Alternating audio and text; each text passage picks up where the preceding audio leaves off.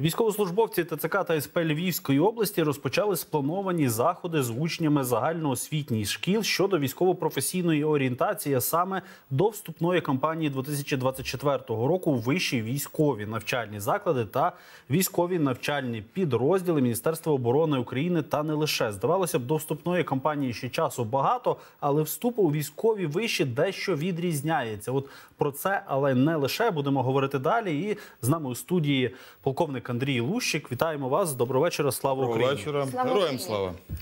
слава. Е, Чому починають вступну кампанію взимку до військових вишів? От цікаве питання. Вступна кампанія відрізняється е, тим, що будь-який кандидат, який хоче поступати в червні, в липні до вищих військово-навчальних закладів, повинен пройти відповідну підготовку. Е, що вона в себе включає? Це проходження медичної комісії, проходження професійно-психологічного відбору, е, проходження відповідних елементів перевірки, тому що кожен кандидат, який хоче вчитися на офіцера, повинен бути перевірений, і ми повинні знати, кого ми беремо вчитися на офіцера. Е, Також необхідно зібрати відповідні пакет документів.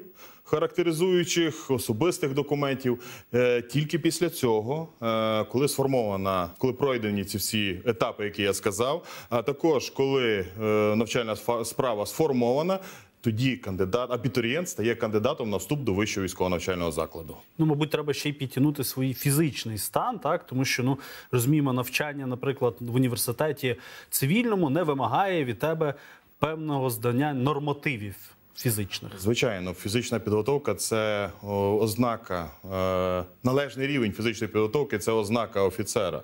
Офіцер повинен бути фізично підготовленим. Е, кандидат, який хоче вчитися на офіцера, повинен мати рівень фізичної підготовки належний, а також е, він повинен навчатися гарно, закінчити свій навчальний заклад, підготуватися, здати випускні іспити. Тоді є більші шанси поступити вчитися на офіцера. Яким і ще такий, якраз і такий шлях просто він ще вкладає одну дуже важливу.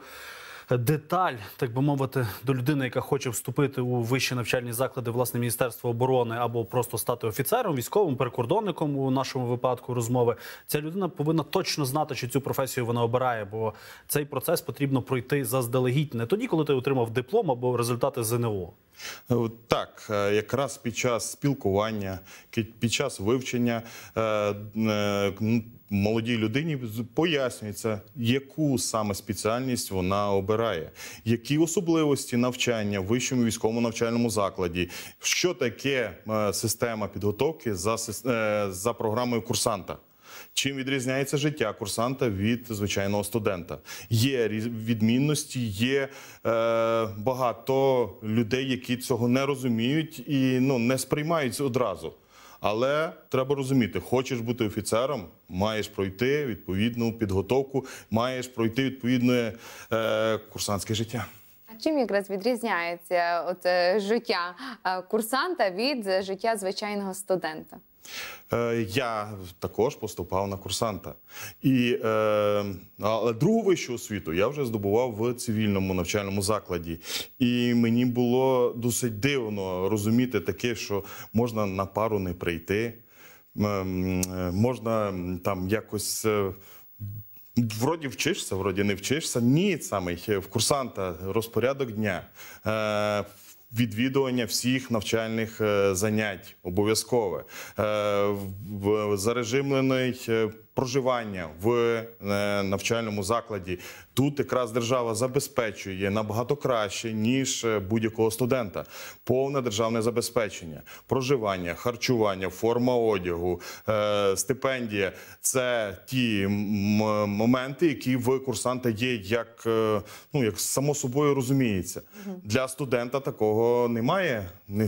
Дозвольте спитати, а яке якраз співвідношення у курсантському складі серед хлопців і дівчат? Скільки кого? Зрозумів. На даний момент в е, Національній академії Державної прикордонної служби імені Богдана Хмельницького, яка розташована в місті Хмельницький, і яка готує основну масу е, майбутніх офіцерів для Державної прикордонної служби, немає обмежень щодо е, хлопців та дівчат. Минулого вступної кампанії співвідношення можна було розцінювати як е, 70 до 30 хлопців-дівчат. Ну, це досить великий показник як для військового навчального закладу. Так ну що пропонуєте вступникам? Ми вже більш-менш розібралися по факту вступу. Які професії можна опанувати, так спеціалізовані? Ну і відповідно, що чекає на випускника. Е, Національна академія Державної прикордонної служби готує, як я вже сказав, практично всі спеціальності, які е, потребуються для е, прикордонного відомства. І базова наша спеціальність є безпека державного кордону. Це е, випускники, які здобудуть е, офіцерське звання, е, будуть призначені в підрозділи охорони державного кордону. Е, будуть е, виконувати завдання або по фізичній охороні державного кордону, так званого зеленого кордону, або виконувати завдання в пунктах пропуску через державний кордон. Е, друга спеціальність наша це. Яка, до речі, дуже сильно відрізняє Державну прикордонну службу від інших силових структур, зокрема Збройних сил України, правоохоронна діяльність. Державна прикордонна служба є орган е, спеціального призначення, правоохоронний орган спеціального призначення. І е, ми е, на нас покладені повноваження протидіяти всій протиправній діяльності, яка час від часу коїться на державному кордоні. А це незаконна міграція, е, контрабанда, торгівля людьми, незаконне переміщення зброї, вибухівки, наркотичних засобів. Це такі елементи, які є. Які е, для протидії цій е, протиправній діяльності якраз є це напрямок правоохоронна діяльність. Е, третій напрямок так дуже також вирізняє нашу академію. Е, Ми готуємо офіцерів-кінологів, офіцерів, які будуть керувати кінологічними підрозділами, тому що кінологічний напрямок в прикордонників дуже сильно розвинутий. Ми дуже залежимо як в пунктах пропуску, так і поза пунктом пропуска від роботи собачок. Їх в нас є багато. У нас є багато сержантів, які е, займаються кіно е, за напрямком кінології. Відповідно, нам потрібні офіцери, які будуть ними керувати. Е, інші спеціальності пов'язані е, з тим, що ми працюємо з іноземцями. Е, Як би не було, війна йде в державі. Західний кордон продовжує здійснювати пропуск осіб транспорту в пунктах пропуска. Нам потрібні люди, які мають відповідний рівень е, іноземної мови. Філологія це одна спеціальність, яка готується нашою академією. Е, Ще така спеціальність є, як яка також є характерною для офіцера. Будь-який офіцер це керівник. Що значить керівник? В нього є підлеглі. З підлеглими треба працювати. Є у нас окрема структура, яка, ну, як і в інших е, е, силових структурах, це е, робота з персоналом. Для того, щоб підготувати відповідного офіцера за даним напрямком, є спеціальність психологія. Ще дві, дві спеціальності є пов'язані з тим, що ми маємо багато інженерної техніки, автомобільної техніки, маємо відповідні засоби зв'язку. Нам потрібні фахівці за даними напрямки. Два напрямки підготовки такі в Хмельницькій академії є. Це ті. Спеціальності, якими, за якими готує Національна академія Державної прикордонної служби. Ну і як ви вже згадали, прикордонники вони відрізняються тим від військових, що вони мають і правоохоронну, і військову функцію. Але в теперішніх умовах бачимо, що прикордонники на рівні із збройними силами, також як з підрозділами Національної гвардії, приймають участь у безпосередніх боях, так на лінії зіткнення, що не було раніше характерно для прикордонників. Вони, звісно, повинні були ворога зустріти першими, але зараз вони активно приймають участь у боях. Ну і власне, як в теперішніх умовах ви поповнюєте лави цих підрозділів, зокрема сталевого кордону, які є нехарактерними для прикордонслужби. Це мобілізація, це рекрутинг, це через ТЦК проходить. Як це відбувається зараз? Е, Прикордонники так приймають активну участь в бойових діях, приймають участь е, не лише е, 15-й мобільний прикордонний е, загін, який має назву Сталевий кордон. Також е, якраз досвід бойових дій показав, що в бойових діях повинні приймати участь саме е, частини бригадного типу. Е, Сталевий кордон, частина бригадного типу. Є також ще на даний момент в стані формування, але вже і застосовуються також перший та третій прикордонні загони, які також створюються за бригадним принципом. Для бойових дій ця структура працює краще. Е, маю особистий досвід. Розумію, що е, на початках ми працювали підрозділами. Часто застосовували зведені підрозділи, які створювалися тимчасово для виконання певних завдань.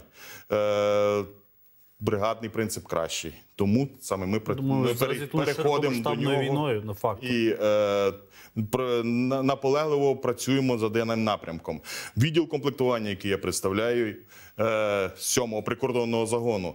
Так, саме сьомий прикордонний загін е, від м, Львівської області, від Сяну. Е, До Західного Бугу чи від Західного Бугу до Ужоцького перевалу, як дивитися.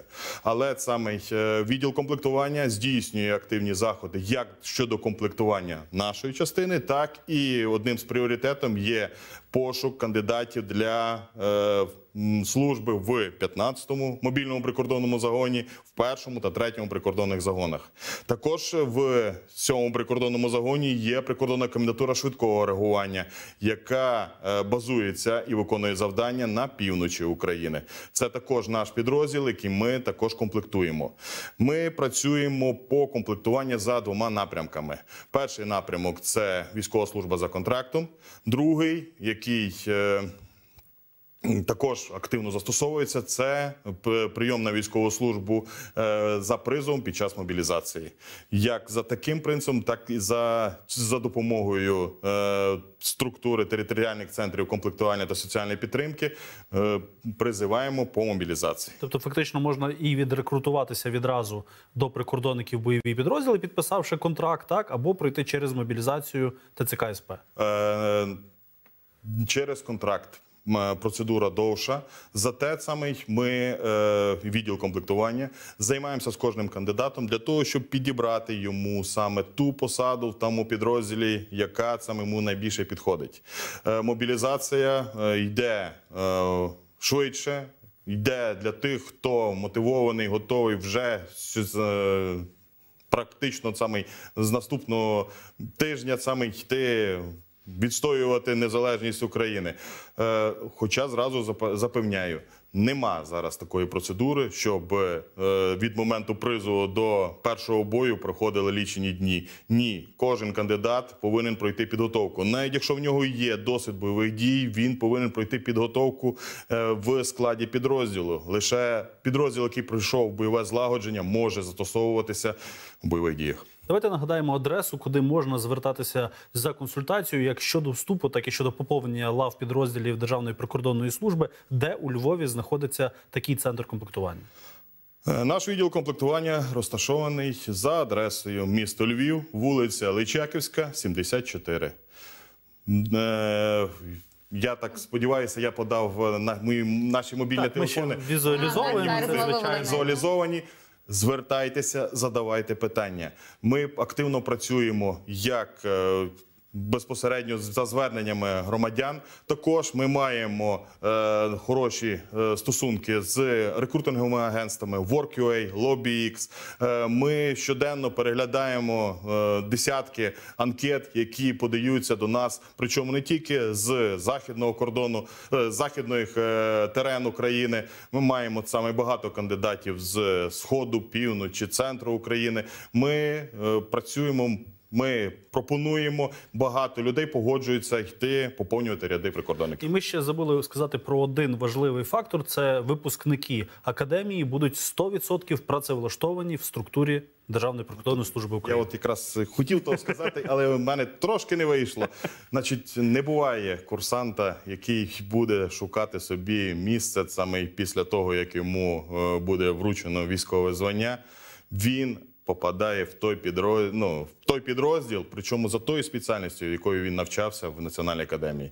Національна академія готує під, термін підготовки 4 роки. Це вроді би здається, що це мало. е, Студенти вчаться 5, але вчаться саме тим е, за тим напрямком, тому матеріалу, тої тій програмі, яка буде безпосередньо мати практичний застосунок в йому подальшій службі. Ну, я так заради жарту скажу, якщо не прогулювати пари, можна і за 4 роки нормально вивчитися. Студенту. Дякуємо вам, Андрій Лущик, начальник групи комплектування 7-го прикордонного загону Державної прикордонної служби України, був гостем у цій частині. Головне задання.